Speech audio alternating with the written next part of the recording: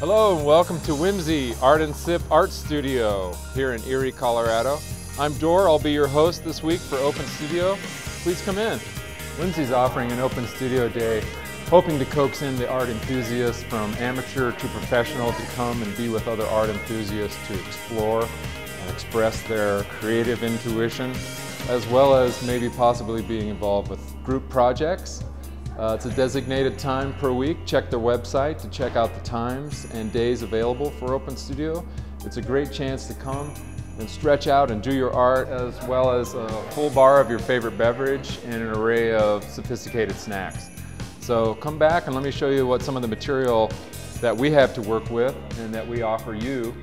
Whimsy also offers the chance to use their materials to create your artwork. We have a full array of sable brushes good quality, all sizes. Also with their paint, it's a really great selection of paint here. And a full palette and their professional grade acrylic paints available.